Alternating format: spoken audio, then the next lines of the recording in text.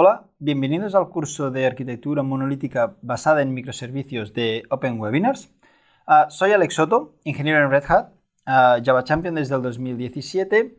Ah, tengo mi blog donde escribo regularmente que es lordofthejars.com y autor del libro Testing Java Microservices para Manning.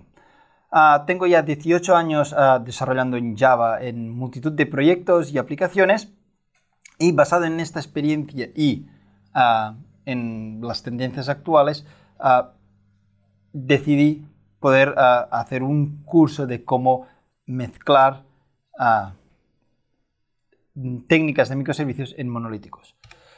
Para este curso lo que se necesita es tener un poco de experiencia en el desarrollo de aplicaciones. Si, si eres una persona que ahora, justo ahora empiezas o solo has desarrollado una o dos aplicaciones, quizá no le puedes sacar todo el partido que mm, podrías o no entender algunas de las decisiones que se toman.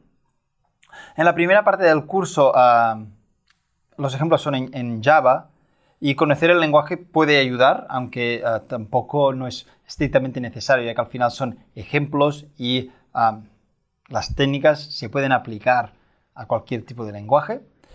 Y en la segunda parte del, curso ya tocaremos más temas relacionados con, por ejemplo, DevOps, y también Docker, Kubernetes, y por tanto es más libre de, cualquier lenguaje, es más abstracto en este sentido.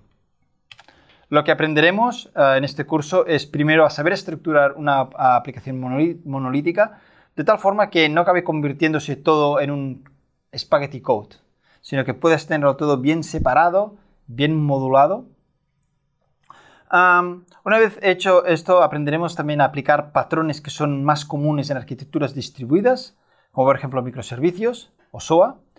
Y lo que aprenderemos es a, ver cómo podemos sacar ventaja de estos patrones, de estas técnicas, también en los monolíticos, de tal forma que el desarrollo del monolítico sea más atractivo. Finalmente entraremos en el mundo de POPs, veremos cómo podemos llegar a desplegar un monolítico no cada tres semanas, sino un par de veces a la semana, cada día.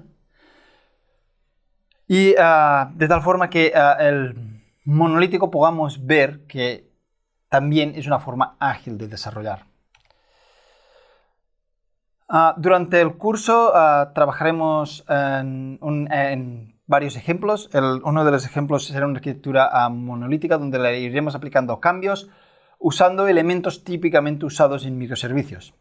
También es cierto que en algunos ejemplos usaremos pequeños proyectos que sirven mejor para poder explicar correctamente eh, unos de los ah, conceptos. Cuando finalices el curso ah, tendrás una introducción a varias tecnologías. Como digo, será una introducción.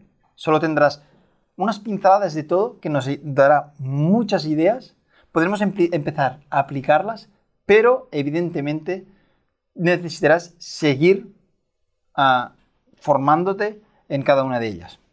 Ah, en los casos que es así, ah, ya se comenta y se provee recursos para poder seguir aprendiendo.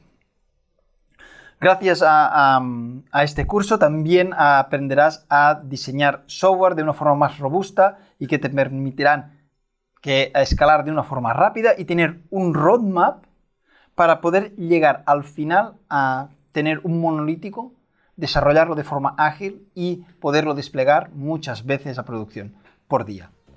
Bueno, si estás interesado eh, en este curso, clica en el link que sale aquí.